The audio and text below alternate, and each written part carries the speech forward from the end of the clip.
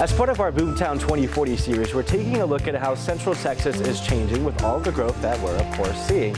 And even with the city constantly evolving, a local photographer won't let people forget the old Austin.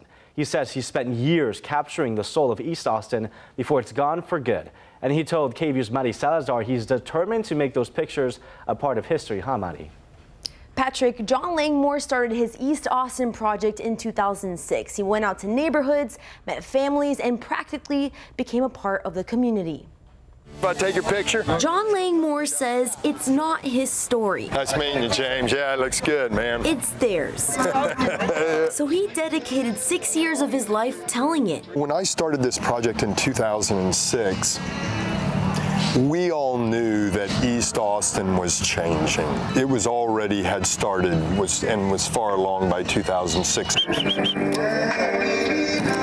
I started to realize that you know this is one of the most unique parts of Austin and that it's changing and that someone should document this, you know, amazing community. With those pictures, Langmore created his book, Fault Lines Portraits of East Austin. Because as Austin changes, neighborhoods develop, and Langmore doesn't want people to forget. It's going to be a tragic loss for the city of Austin when old East Austin, these Mexican, the Mexican American and the African American communities, when they're gone, it's going to be a huge loss. His book talks about how East Austin businesses and families are being pushed out, while new restaurants, bars, and newer residents are pushed in. Something East Austin business owner John Colunga knows a lot about. The east side is it's still here, but it's like totally changed with the community of our our Mexican heritage. Colunga says they keep their heads up. We accept it because of, I mean, we're just looking around and we're still all together. And for Langmore, it's not about what's changing, but about what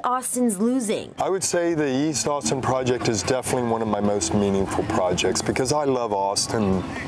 Uh, you know, it's my hometown. Langmore is working with the Austin History Center to display his pictures. Mari Salazar, KVUE News.